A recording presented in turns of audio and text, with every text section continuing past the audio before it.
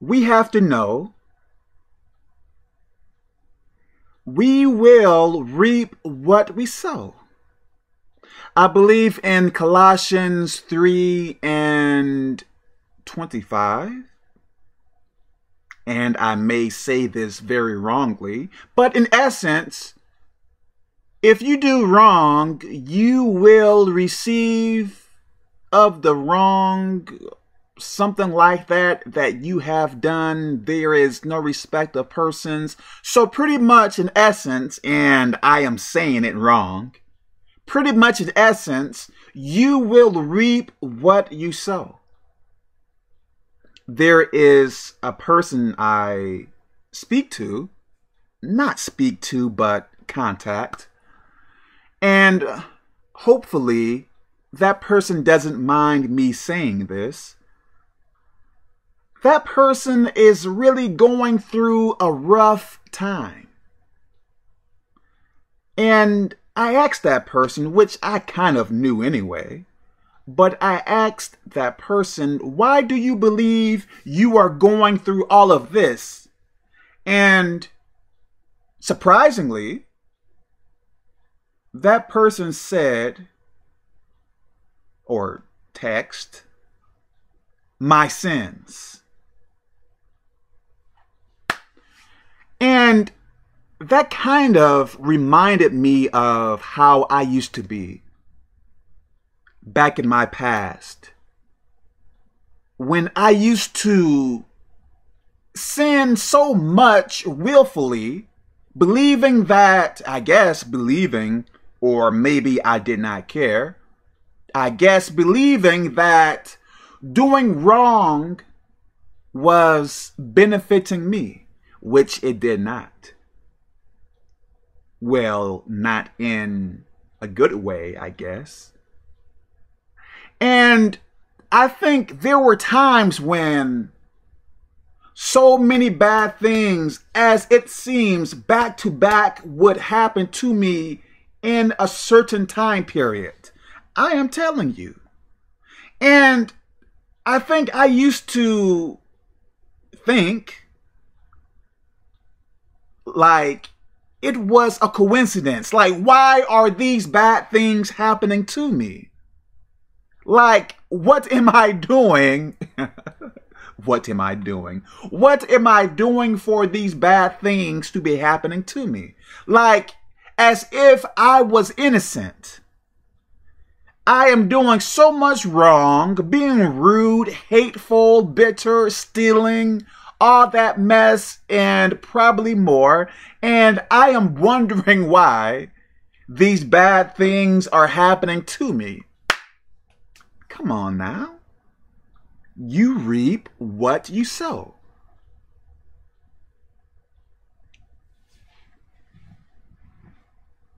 You may believe sinning is to your advantage. You may believe when you steal, I used to steal as well. You may believe when you steal, you are actually gaining because since you stole something that is like an ad to you, like let's say you stole this pillow with a hole in it. like I stole this so I gained. This is an add on to me because I stole this pillow here.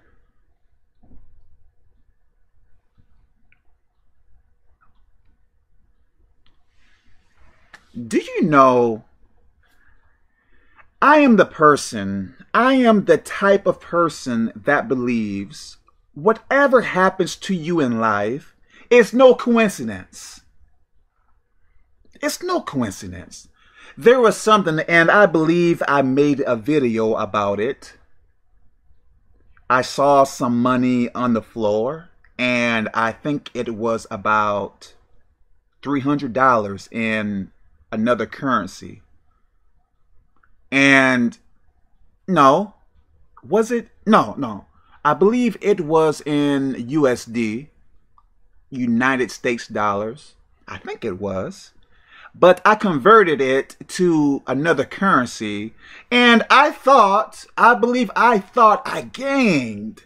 I believe it was around $300. I thought I gained. I went somewhere later. I think this was maybe weeks later, maybe a week or two later. I don't really remember. And I won't give all the details, but something happened and I had to take a taxi. Well, I guess I didn't have to, but to make a long story short, I took a taxi.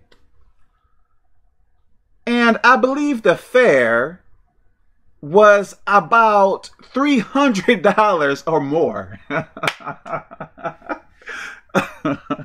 so, did I gain? Temporarily, I guess, but ultimately, did I gain? I probably lost more.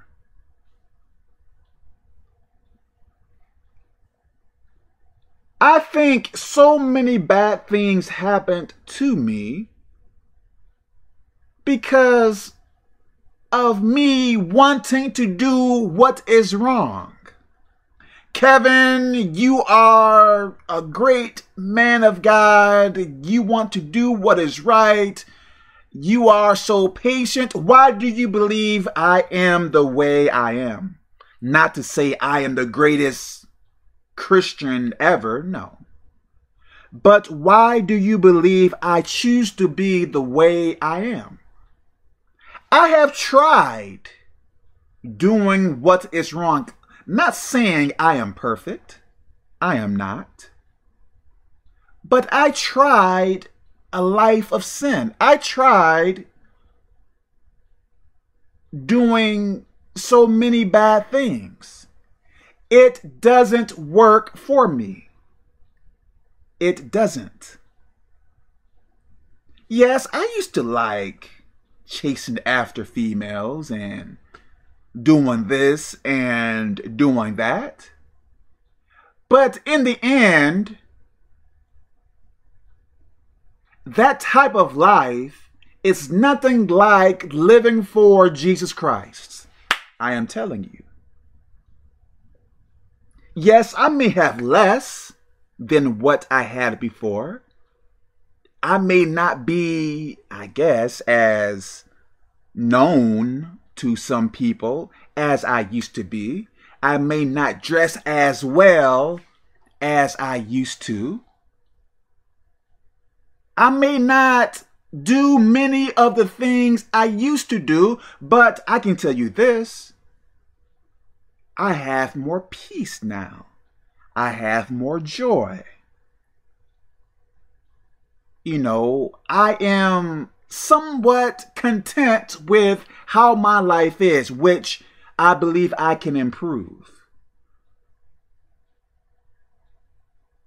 Nothing is like living for Jesus Christ. Nothing is like it. I could go back to my old ways. I could go to the bars and the clubs and get drunk and mess with people's girlfriends and stuff like that. I could do that. But is it worth it? Is it?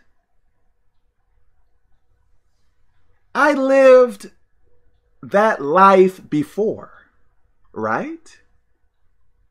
And I think I had so much depression, so much anger, hate, bitterness, unforgiveness, perversion, and probably so much more.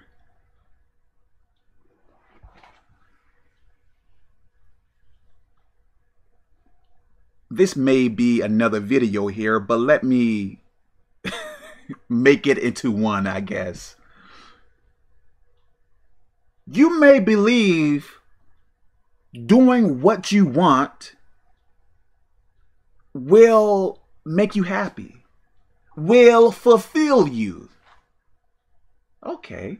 If you are trying to live for Jesus Christ now, weren't you somewhat doing what you wanted? Did it make you happy? Did it fulfill you? Did it give you what you believed you needed in life? Probably not, right? So if doing what you want or somewhat of it did not make you happy, did not really, let me say it like this, did not really make you happy or joyful or anything like that, why continue on that path? Myself, I guess I am going to get a little personal. Myself, I think peer pressure is huge. I think some people do things they don't really want to do, but they do it because of peer pressure. And I believe I did so many things because of peer pressure. I believe I started to drink alcohol because of peer pressure. I believe I received a tattoo and did other things because of peer pressure.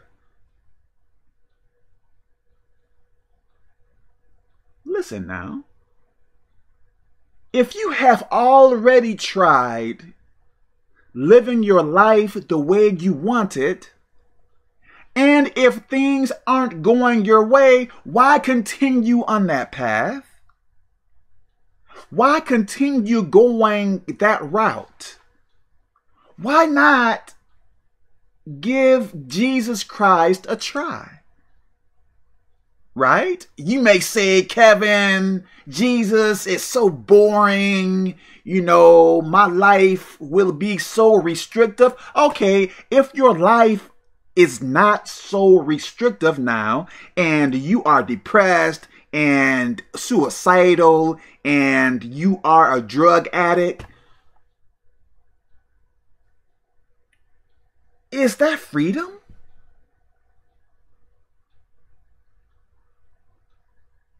You may believe you are living with few restrictions now, but how is your life now?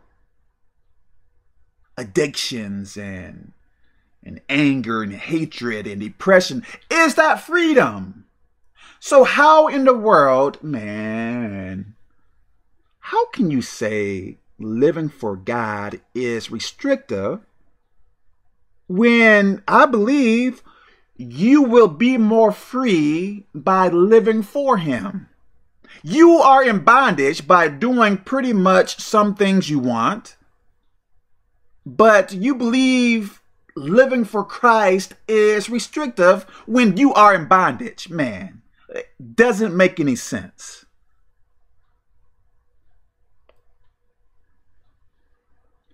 Look now. You may not know too much about Jesus Christ now. So, what comes to your mind is probably uninformed thoughts. I think Jesus is like this. I think he is a tyrant. I think he is just controlling. Give him a try. Read read the Bible. Learn of him. Try it. I can tell you now I don't know. I don't know how to cook well. How can I give you my opinion of how to cook if I am a horrible cook? How can I say cooking is so boring and and cooking is a waste of time and you might cut your finger. Let's say I am telling you ignorant stuff about cooking. Let's say I am trying to inform you of something I have little idea about. Like, would that make any sense? Like, how can I? I don't know much about hockey. How can I tell you how hockey is if I don't know much about it? Pretty much what I know, I guess, you you skate and you have a stick and you try to put that puck in the other person's goal. But there is probably so much in the game that I am not telling you about. Aren't you doing the same thing when it comes down to Jesus Christ? Aren't you skipping out on so many details you may not know about? Man, come on now. On the outside, for I guess the uninformed, I guess living for Jesus Christ may seem boring, may seem whatever, but until you, I guess, get your feet wet, how will you really know? My life in Christ is so much better than how it was when I was in willful sin. So much better. I may have less, but the quality of life I have now is so much better. I am telling you. If it wasn't, I would probably be back doing that mess I used to do in my past, which I hope I never do again. You can't do wrong and expect good to come out of it. Yes, I believe God will bless sinners and the saints. But you will reap what you sow. Sometimes thoughts come to my mind. I am not perfect. I don't do everything right. Okay, sometimes I make mistakes. Sometimes I err. So don't see me as this perfect beam of light. Anyway, sometimes I have thoughts to do what is wrong to people. And much of the time, I push them out. Why? Because, or I ask Jesus Christ to help me calm down or to get over an issue. Why? Because it is not worth doing what is wrong. Even though you may do what is wrong, but to have a lifestyle to continually, constantly do what is wrong truly it is not going to benefit you. There is a person I contact, and this is the same person I referred to earlier. I believe I referred to this person earlier. This person tells me what is going on in their life back to back as it seems bad things. Back to back. And I believe I told that person, why not? I forget the actual words I text that person, but why not just serve God completely? I believe that person told me that they are trying, but bad things usually happen or something like that. I'm going to one subject to the next, I guess.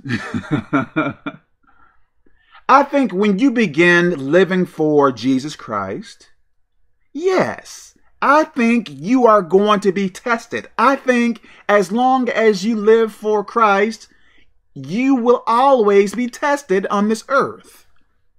So I think that is normal. But I guess I don't really want to use the word trick, but let me use it. The trick is if you are going through a tough time, do what is right during your tough time. If someone is persecuting you, don't persecute that person back, but do what is right toward that person the entire time. Right? Going back to my main subject, excuse me, you will reap what you sow. And I think that is one of the main things I teach to some people. You can't do folks wrong. Let me say it like this. If someone is doing you well, you can't pay back their good with evil. Hey, you are doing me so well. You are feeding me. You are paying my bills. You are giving me clothes. You are giving me water. You are taking me to the hospital. Let me betray you. Let me stab you in the back. Let me do what is wrong to you. You can't pay good with evil because if you do, I believe bad things are coming your way. And I think I have seen some of my enemies get punished because, I think, for doing wrong. Not to say I am this special person like this elite Christian star. Look, I am not a very top Christian, I guess I can say. But if the Bible says you will reap what you sow, is it beneficial for you to do what is wrong? Kevin, I can't help it. Let me say it like this. If there was something you are really back in my past, I am telling you all stories and stuff now. I guess this almost entire time. Anyways, back in my past, I used to like playing Call of Duty. And I would spend countless hours, man, countless hours trying to get better and better at that game. And no matter how good I get at that game, I believe there would be people that would be so much better than I. I think the connection has something to do with it as well. Like how the internet speed or whatever server, whatever it is called. But as it seems, no matter how good I get at that game or games, someone would be better than I. But I was interested in playing some of those Call of Duty games. I did not play them all. I believe uh, Black Ops 2 was one of my favorite games. And I got really good at that game.